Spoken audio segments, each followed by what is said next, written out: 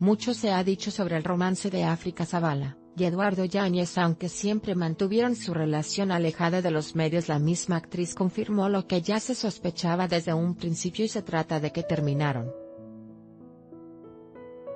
No pues yo nunca hablo de nada pero ya les había dicho estoy contenta sí solterita feliz y bueno pues bien todo bien, dijo para el programa Sale el Sol. Por si fuera poco la famosa reveló que la relación que mantuvo con el histrión de telenovelas le dejó grandes enseñanzas por lo que solo habló cosas buenas de él. Eduardo es un gran actor es un gran amigo, y es una gran persona siempre va a tener todo mi cariño mi admiración porque es un actorazo aprendí muchísimo cuando trabajé con él, expresó la bella mujer. Recordemos que hace unos días estuvo en el canal de Adela Micha, la saga donde habló sobre su relación con la prensa además de la agresión que sufrió su madre por parte de unos cuidadores.